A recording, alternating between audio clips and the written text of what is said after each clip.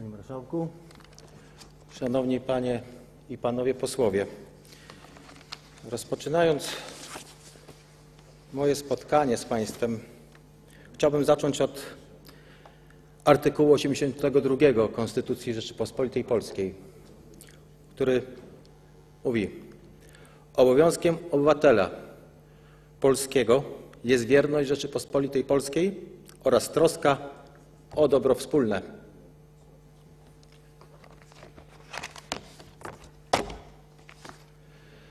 Szanowni Panie i Panowie Posłowie, obywatelska inicjatywa ustawodawcza jest konstytucyjnym prawem i obowiązkiem obywateli. Jest wskazaniem często trudnych problemów i koniecznej troski o nasze wspólne polskie sprawy. To wynika wprost z Konstytucji. Wszystkie mądre decyzje, wszystkie mądre decyzje, także nasze życiowe, podejmujemy i powinniśmy podejmować z refleksją i z życiową pokorą. Trud, praca, ofiarność i determinacja zwykłych obywateli jest wartością budującą społeczeństwa, budującą dobrobyt państwa, ale jest, powinna być dodatkową mocą dla tych naszych przedstawicieli, którzy dzisiaj z naszego poręczenia sprawują władzę. Bez względu na światopogląd, doraźny interes polityczny, barwy partyjne, barwy partyjne powinny nie zmieniać zasady pracy publicznej. Tą zasadą powinno być właśnie dobro państwa. A tutaj mamy akcję obywatelską. To obywatele pochylili się z troską nad sprawami państwa. I jak sugerują niektórzy posłowie, zrobili to niejako, jakby to powiedzieli oni, z wyrachowania. To nieprawda. Ci obywatele zrobili to z pokory i miłości do swojej ojczyzny. Z troski o to, że za chwilę w tej ojczyźnie może nie zostanie już nic. Pogarda, sprytne zagrania i pycha nie doprowadzą do żadnego sukcesu. Pewnie doraźnie zadowolą sprytnych, wypełnią naszą ludzką próżność. Może i nawet spełnią partyjny obowiązek, ale nie dadzą żadnej satysfakcji. Nie zbudują wartości ani przestrzeni publicznej, ani wobec własnych sumień. Każdy z nas, szanowni panie i panowie posłowie, świadomy swojej osoby, a tym bardziej ambitny, a do takich przecież panowie posłowie należycie, chce się realizować. Ale odniesie satysfakcję tylko wówczas, kiedy wykona pracę rzetelnie, sumiennie i ofiarnie. Spójrzcie Państwo we własne wnętrza, w swoje marzenia i tęsknoty. Przecież tutaj do Sejmu przywiodły Was właśnie troski o dobro wspólne. Każdy z Was był kimś wybitnym. To nie jest wykład. Zaraz dojdę do rzeczy, szanowny panie pośle. I chciałbym zwrócić Państwu na jeden ważny element uwagę. Po pierwsze, namawiam Was, abyście się wyrwali z sideł partyjnej dyscypliny. Macie przecież doświadczenia życiowe, swoje ambicje, dorobek zawodowy i rozum. I te wartości powinny służyć właśnie naszemu państwu. Państwo, jego bezpieczeństwo, los ekonomiczny tysięcy obywateli, perspektywa dla tych i następnych pokoleń to nie jest stragan na rynku, a to przekomarzanie się to nie jest rozmowa przekupek. Praca publiczna to jest niesłychana odpowiedzialność. Brzemię, które niesiecie, powinno prowadzić także do tego, aby na Komisji Skarbu Państwa, na które, która miała się nad tym projektem pochylać, ta sprawa była wykonana rzetelnie. A tak się przecież nie stało.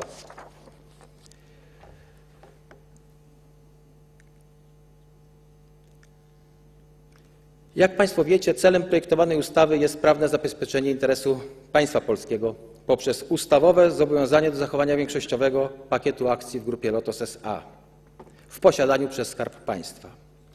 Państwo, a w jego imieniu Skarb Państwa ma zachować większość obecnie posiadanych udziałów w grupie Lotos SA. Większość to 50% akcji plus jedna. Tak należy to rozumieć. Przepraszam bardzo, panie ministrze, właśnie w ten sposób. W trakcie pierwszego czytania w Sejmie szóstej kadencji we wrześniu 2011 roku projekt ustawy został skierowany do Komisji Skarbu Państwa. To podkreślał pan e, poseł Aziewicz. Drugie czytanie odbyło się 2 marca po raz kolejny. Wówczas Sejm skierował projekt ponownie do Komisji Skarbu Państwa mimo sprzeciwu ministra Skarbu Państwa. Pierwsze posiedzenie Komisji Skarbu Państwa odbyło się 8 listopada ubiegłego roku. Zakończyło się wnioskiem formalnym zgłoszonym przez pana posła Tadeusza Aziewicza o odrzucenie projektu ustawy y, w całości. Jednak komisja nie rozpoczęła pracy merytorycznej. Odbyła się jedynie dyskusja polityczna. Prawda? Po wyjściu kilku posłów, po wyjściu kilku posłów, na skinienie posła Tadeusza Aziewicza sekretarz komisji wstał, policzył osoby na sali i wrócił. Szepnął do ucha posła Aziewicza i wniosek formalny padł za chwilę. Tak. Moim zdaniem to źle pojęty spryt. Mężczyzna, dżentelmen, powinien spotykać się na ubitej ziemi, ścierać na argumenty, a nie chować za parawanem formalnych wniosków. Komisja w Sejmie, tak sądzę, to jest właśnie miejsce na wymianę argumentów. Tam w często denerwujących, może i nieznośnych dyskusjach można wypracować, należy wypracować najlepsze rozwiązanie. Także takie wnioski, które zmierzają do odrzucenia danego projektu w całości. Taka powinna być zasada. Tak chyba pojmujemy pracę w Komisji Sejmu. Chciałbym podkreślić, że kierowanie sprawami państwowymi to jest ciężka, żmudna praca, bardzo często i niewdzięczna, ale tylko rzetelna może liczyć na uznanie.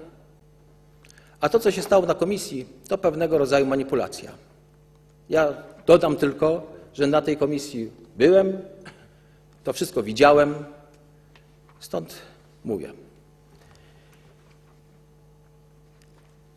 Grupa Lotos, jak tu już wielokrotnie Państwo podkreślaliście, to wiodący podmiot na rynku paliwowo-energetycznym w naszym państwie. Przypomnę podstawowe, kluczowe kwestie. Po pierwsze, pomimo obowiązywania rządowej polityki rządu, polityki Rzeczypospolitej Polskiej dla przemysłu naftowego w Polsce i jej podstawowych założeń, takich jak ograniczenie możliwości ryzyka wrogiego przejęcia oraz utrzymanie albo wręcz zwiększenie udziałów Skarbu Państwa w kluczowych spółkach sektora naftowego, rząd w 2010 roku sprzedał 10% akcji grupy Lotos SA i wówczas postanawia sprzedać całe przedsiębiorstwo, całe przedsiębiorstwo do dna. Mimo, że wówczas była finalizowana inwestycja w ramach programu 10. Rozpoczyna się procedura poszukiwania inwestora strategicznego dla grupy Lotos SA na pozostałe ponad 53% akcji. W tym celu rząd zawiera pakt z firmą, z firmą JP Morgan na prowadzenie spraw związanych z procesem sprzedaży, prywatyzacji. Kilkakrotnie przesuwany jest termin składania ofert dla potencjalnych inwestorów, udzielane są im wyjaśnienia. To wszystko jedna z najpotężniejszych firm doradztwa biznesowego na świecie. Przepraszam, później- ale y, mam taką prośbę. y, Uzasadnienie projektu już było w pierwszym czytaniu przez y, Ja nie- Komitet Obywatelski. Prosiłbym o przejście i odpowiedzi Rozumiem, na Panie pytania. Marszałku, pragnę przypomnieć tylko pewne fakty, o których tutaj zapomniano. Firma JP Morgan, być może jest to niewygodny fakt, ale jest faktem, ponieważ to także na Komisji Skarbu minister podkreślał, wykonywała te usługi dla, na rzecz ministra Skarbu Państwa za darmo. Dlaczego?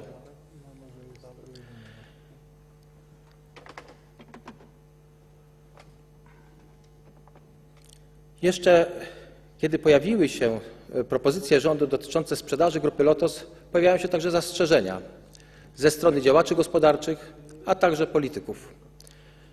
I dlatego właśnie wiosną 2011 roku rozpoczęła się inicjatywa ustawodawcza obywatelska. Obywatele poparli tę ustawę. Ustawa i projekt ustawy zyskał szerokie poparcie społeczne, a także uzyskał szerokie poparcie polityczne. Przecież poparli ją posłowie wszystkich stron politycznych, bez względu na przynależność partyjną. Wszyscy. Czego wyrazem było głosowanie nad przekazaniem projektu ustawy do Komisji Skarbu Państwa. Co się stało dodatkowo? Proszę zwrócić uwagę, że na tą ustawę zawierającą 7 artykułów minister Skarbu Państwa wynajął zewnętrznego doradcę. Doradcę, który miał, i tu raz przechodzę właśnie do sedna sprawy, y, tą projekt ustawy tak naprawdę ośmieszyć. Miał wskazać niewłaściwą interpretację niejako pakietu większościowego. Państwo nie chcieliście tego zrozumieć.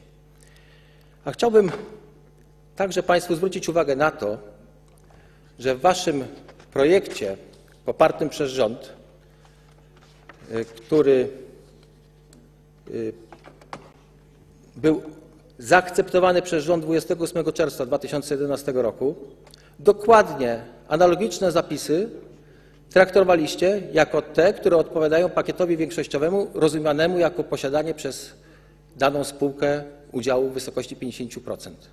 Tak się stało w przypadku nomen omen zakładów azotowych Tarnów. Wówczas rząd potrafił to dokładnie zinterpretować, a w przypadku projektu obywatelskiego nie. Ja może przytoczę dokładnie, jak to wygląda w projekcie obywatelskim. W projekcie obywatelskim jest to e, napisane dokładnie tak.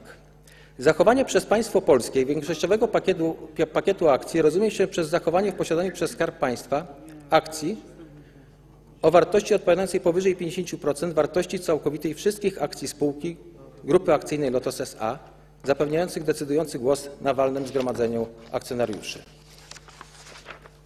A w rozdziale Kontrola nad spółką za akceptacją rządu jest napisane tak. Skarb Państwa reprezentowany przez ministra Skarbu Państwa posiadający 52,53% w kapitale wykonuje prawo akcjonariusza określone w kodeksie spółek handlowych oraz w statucie. Dzięki posiadaniu większości głosów na walnym zgromadzeniu może wywierać, podkreślam, decydujący wpływ na decyzje w zakresie spraw korporacyjnych, które zgodnie z kodeksem spółek handlowych wymagają bezwzględnej lub zwykłej większości głosów na walnym zgromadzeniu, w tym powoływania i odwoływania członków Rady Nadzorczej. W związku z powyższym uprawnieniami korporacyjnymi, y, w związku z powyższymi uprawnieniami korporacyjnymi Skarb Państwa ma zdolność do sprawowania kontroli nad działalnością spółki. To, proszę Państwa, są zapisy, które akceptowaliście, które rozumieliście dosłownie.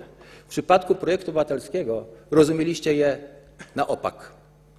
Dlaczego?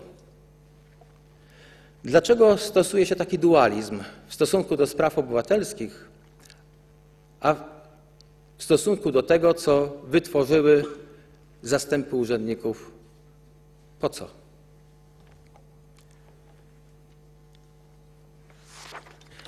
Ja mam prośbę. Panie y, y, marszałku, Mam, my na Są, ten punkt, padły, jeśli, padło jeśli, szereg pytań. Pozwoli czy- Pan, że bo- odpowiem.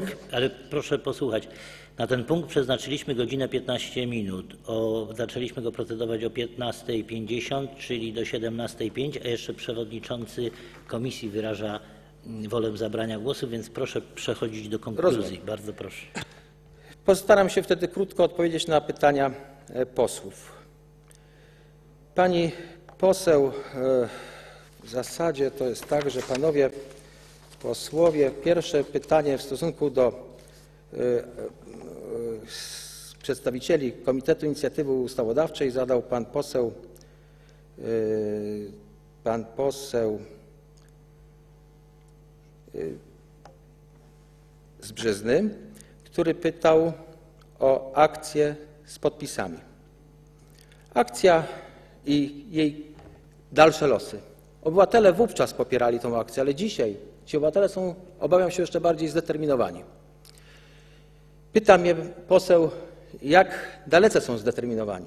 Ja przed chwilą siedząc z kolegą w ławce chciałbym i chciałbym, ale ze względu na powagę Izby tego nie zrobię, zacytować komentarze obywateli, którzy, które złożyli na portalu Wyborcza BIS właśnie w sprawie programu Inwestycje Polskie, gdzie mówi się o inwestycjach. Jak pojmują i widzą i dostrzegają to, co teraz się ma dziać.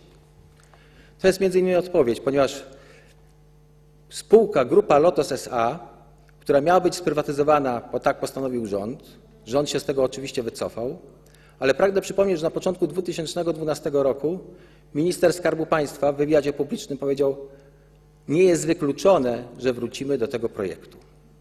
Pragnę także zwrócić uwagę, że spółka Grupa Lotos SA jest jedną z tych, która była brana pod uwagę a propos tak zwanych inwestycji polskich. To jest ta spółka.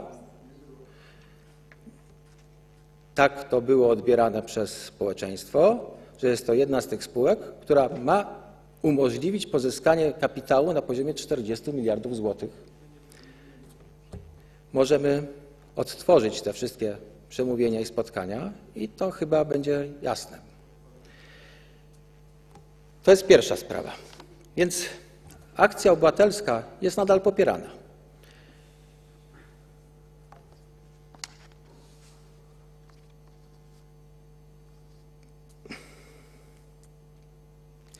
Następne pytanie, które tutaj się też pojawiało i wątpliwości, wyjaśniał pan minister, że nastąpiła zmiana statutu grupy Lotos SA. Ja chciałbym przypomnieć państwu, że taka zmiana statutu w innych spółkach Skarbu Państwa, na przykład y, w grupie Azoty, y, zawsze była preludium do sprzedaży części akcji. Tak też się stało. Przecież, jak Państwo pamiętacie, w- zakłady azotowe Tarnów, w których Skarb Państwa posiadał w pewnym momencie 52 z kawałkiem procenta akcji, y, Skarb Państwa pozbył się części akcji i w zeszłym roku, 13 bodajże lipca 2012 roku, ministerstwo zamarło w przerażeniu. O mały włos. O mały włos chemia polska byłaby przejęta. I to nawet was zatrwożyło. Tak też się stało, prawda?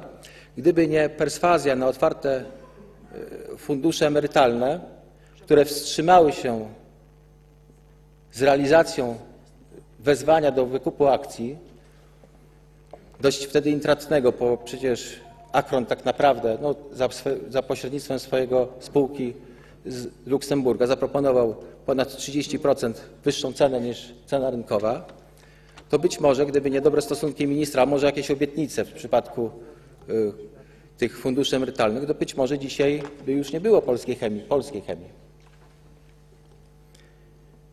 Chciałbym także zwrócić uwagę na to, że co tutaj zaznaczyła pani, która wyszła, pani z Platformy Obywatelskiej, że y, rząd planuje i rząd nie planuje, jak to podkreśla, prywatyzacji, czyli sprzedaży grupy Lotos SA. Ja chcę Państwu powiedzieć, że status quo jest gwarantowany właśnie przez projekt ustawy. Dzisiaj Skarb Państwa posiada troszeczkę więcej niż 50% udziałów. Ustawa proponuje zachować właśnie takie udziały. Nie zmienia o niczego poza tym, co dzisiaj już istnieje. Jeżeli chodzi o wyliczenia, które prowadził minister Skarbu Państwa w oparciu na o tą manipulację czy nadinterpretację, którą chciał tutaj wprowadzić, one tak naprawdę w ogóle nie opierają się na faktach, które niesie ze sobą ta ustawa. Ustawa, jak podkreślam, nie zmienia nic. Państwo polskie nie musi dokupywać żadnych następnych akcji. Od po prostu ma zachować to, co ma. To jest najważniejsza rzecz, która wynika z tej ustawy. Komitet Inicjatywy Ustawodawczej także jesienią ubiegłego roku zaproponował szereg w sumie drobnych zmian, doprecyzowujących projekt ustawy, które w dużej części wychodziły i wychodzą naprzeciw y, także postulatom rządu. Są to zmiany, które mają y, poprawić kształt legislacyjny, czyli dopracować ustawę pod względem y, formalno-prawnym. ale także, ale także wyjaśnić i doprecyzować to, o czym mówiliśmy. 50% akcji to jest 50% akcji i nie trzeba tego w inny sposób interpretować. My proponujemy, mimo że rząd proponuje w swoich dokumentach inaczej i mówi o decydującym głosie na, y, i, i, na walnym zgromadzeniu akcjonariuszy, a my proponujemy skreślić to z y, zapisu ustawy, skoro to powoduje dalsze niepotrzebne y, nadinterpretacje, to, to jest niepotrzebne. 50% plus jedna akcja jest jednoznaczne i to jest w pełni zrozumiałe. Jeżeli chodzi o to, czy projekt ustawy y, powinien trafić do komisji. Tak, tak zdecydował Sejm. Komisja powinna tą swoją pracę wykonać rzetelnie. Powinna nad tym się pochylić merytorycznie. Powinna wysłuchać argumentów. Powinna, powinna to zrobić. Ale Komisja Skarbu Państwa wybrała inne rozwiązanie. Chciała pokazać obywatelom, że nie traktuje ich poważnie, że obywatele, którzy z powagą y, podpisali się pod projektem ustawy, z powagą zrozumieli treść projektu ustawy, z powagą i ze zrozumieniem wiedzieli, pod czym się podpisują, chcą, aby ta ich, ten ich wniosek był rzetelnie tutaj potraktowany. Aby nie dochodziło do takich oto sytuacji, że ktoś mający przewagę traktował tą sprawę, e, no, delikatnie mówiąc, bez szacunku. Tak nie powinno być. W imieniu wnioskodawców pozwolę sobie, proszę Państwa, zaapelować do Was, abyście skierowali ten wniosek ponownie do komisji, aby w komisji rzetelnie się nad tym pochylić, aby wypracować taki kształt tej ustawie, aby była ona jednoznaczna, jasna i prosta. I to jest chyba najważniejsze. Tak powinniśmy zrobić. A jeżeli nawet w komisji się okaże, że jest to ustawa, jak to pan poseł Łaziewicz sugeruje, niepotrzebna, to to powinno się odbyć po merytorycznej dyskusji. Dzisiaj my nie mówimy o argumentach. My dzisiaj tak naprawdę uprawiamy politykę. A ta ustawa nie ma nic z tą polityką wspólnego. Sugestie, jakoby była to akcja polityczna, taka czy inna, są zupełnie niepotrzebne. Jest to akcja obywatelska. To obywatele upomnieli się o takie rozwiązanie. Zakładam, że mają rację. Powinniśmy to uszanować. To jest chyba najważniejsze. Dziękuję serdecznie.